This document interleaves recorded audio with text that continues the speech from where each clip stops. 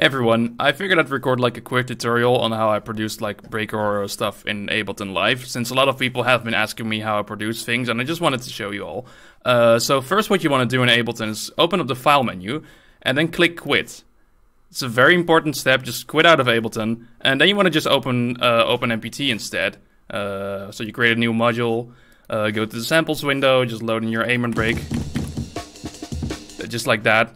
Then you also want to quit out of OpenMPT, just save none, uh, go to the start menu, and just uh, shut off your PC, and just go outside, you fucking loser. Wh why the hell would you want to do this to yourself? Like, get some fucking bitches, like, I swear to god, you absolute fucking buffoon. Why the hell are you still watching this video? What what do you expect to learn here? Just just get a life, you, you fucking